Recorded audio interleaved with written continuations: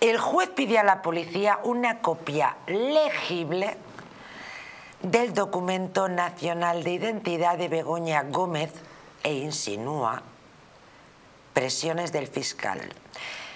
El juez que investiga a Begoña Gómez, Juan Carlos Peinado, ha pedido esta copia legible. El magistrado titular del juzgado número 41 de Madrid ha afeado igualmente que el fiscal del caso realiza frecuentes e inusuales visitas personales.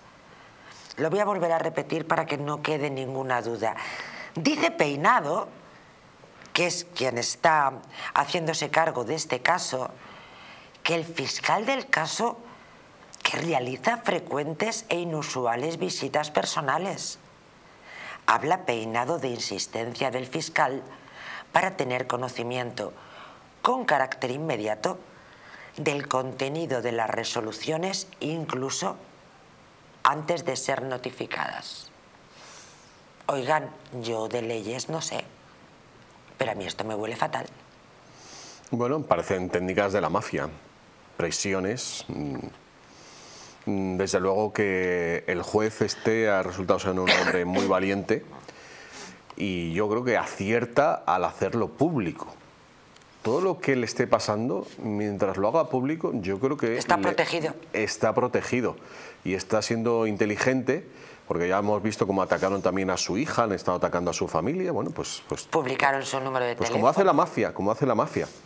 Y, y, bueno, y lo que no sabremos, las llamadas y los emails que le puedan estar llegando, que bueno, pues es la manera que tienen de amedrentar y, y desde luego que si lo hacen es porque saben que puede estar localizando información eh, dañina para, para Begoña Gómez. O sea que desde luego si, si estuvieran eh, tranquilos no estarían presionándole porque dirían, bueno, pues es que no van a encontrar nada, ¿para qué no vamos a presionar? O sea que si lo hacen es porque saben que hay tema.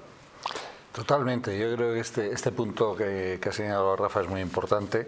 Si están presionando, efectivamente es porque eh, Pedro Sánchez eh, teme que efectivamente aquí hay un caso serio e intenta evitar que el juez tenga eh, la independencia para poder investigar y, al final, pues bueno, sentenciar lo que realmente tenga que sentenciar. Pero yo creo que también hay que poner en valor cómo frente al poder absoluto o aparentemente apabullante o, o que es arrollador, sin embargo, cuando se levanta una sola persona que tiene valor, que tiene principios, que está dispuesto realmente a vivir conforme a esos principios, solo una persona, uh -huh. en este caso el juez Juan Carlos Peinado, ¿cómo se puede tumbar a todo un Estado con pretensiones totalitarias?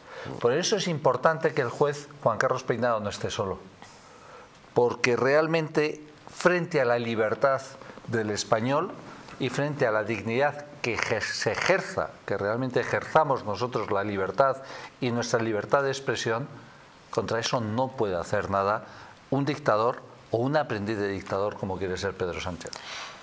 Pero es de película de miedo esta denuncia que ha hecho el juez Peinado. O sea, del Ministerio Fiscal, pero estamos locos. Bueno, es que lo que estamos es en un golpe de Estado institucional, es decir, Pedro Sánchez está intentando tomar todas las instituciones para evitar que sean independientes. La Fiscalía la controla él y, y evidentemente, pues desgraciadamente estamos viendo que hay fiscales pues indignos, eh, cobardes, miserables, eh, que no hacen el trabajo que tienen que hacer, que es velar precisamente para que haya justicia en España. Y además habla de cuantificar. Miren, yo no sé ustedes, yo desde luego no me lo puedo creer. Eh, Peinado pide al letrado de la Administración de Justicia un informe en el que cuantifique las frecuentes e inusuales visitas personales recibidas en la sede de este órgano judicial por parte del representante del Ministerio Fiscal.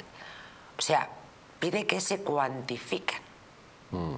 cuántas veces han ido a interesarse y sobre todo han ido a pedir explicaciones.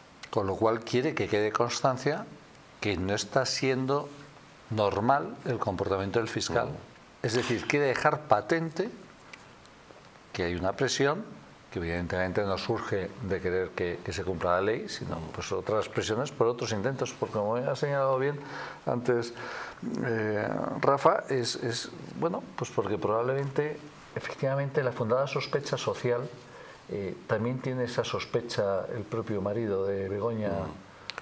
Yo creo que aquí también se ve la importancia de la prensa libre, María José, y, eh, y bueno, y los que nos estáis viendo si no hubiera un periodo que no sé cuál ha sido el que lo ha sacado, Voz Populi eh, o... OK Diario. OK Diario. Déjame que, déjame que te lo Yo lo he visto en, varios, en varios, pero mm. imagínense que no existían esos diarios digitales. No nos habríamos enterado. No nos enteraríamos. ¿Y Los qué, tabloides que dice. ¿Y, qué pasaría si no nos hubiéramos enterado de que estaba habiendo esas presiones? Pues que el juez peinado estaría mucho más agobiado, se sentiría menos apoyado y finalmente es posible que decidiera no ir más allá. Por eso está intentando controlar la prensa, porque todas estas filtraciones de noticias, que evidentemente esto no es un notición, pero es una noticia interesante y aquí le estamos dando el, digamos, lo estamos poniendo en valor, pues eh, te, hacen, te dan una idea de las maneras tan maquiavélicas que tienen de operar y de presionar a la justicia y, bueno, seguramente que nos enteraremos de más gracias a que, bueno, pues todavía contamos con periódicos eh, libres.